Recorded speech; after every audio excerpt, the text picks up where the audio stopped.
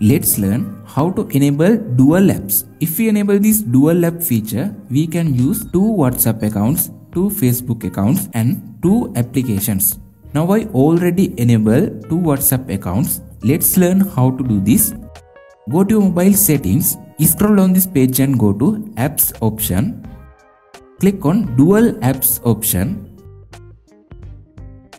in here, you can see dual app supported applications. If you want to use these applications as dual mode, you can turn on this option. Now let's create two Facebook accounts. Now I click on this Facebook icon. After you can enable this dual apps option. Now Facebook second application is created. Let's see. Okay, this is my second Facebook account. This is my first Facebook account. Now I have two Facebook applications on my mobile. In this method, you can enable dual apps without using third-party applications.